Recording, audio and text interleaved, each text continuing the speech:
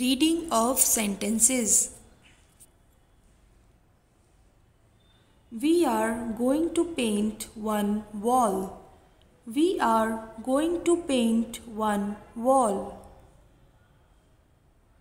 Do you want to get pizza after school?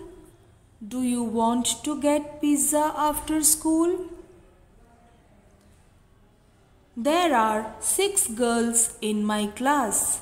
There are six girls in my class. My brother saw a deer. My brother saw a deer.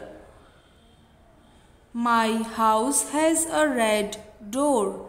My house has a red door. Thank you.